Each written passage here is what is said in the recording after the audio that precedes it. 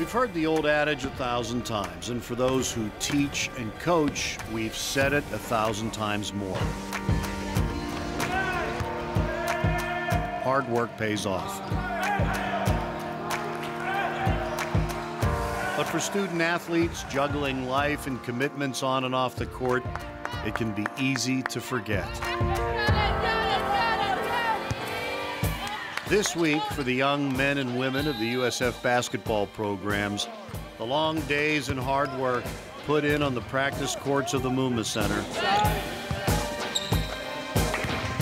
were on display in the Sun Dome and for national TV audiences. If you're cold and miserable up north, we have a solution. A clear 70 degree night in Tampa. It's the American Conference on ESPN with one squad earning an impressive and welcomed win. Nice bounce pass. Oh, the throwdown. Oh, my goodness.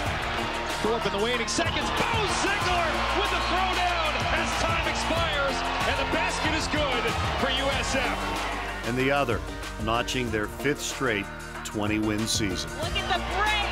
Jespersen. And it's blocked by Henshaw. This is USF basketball. Run with the Bulls.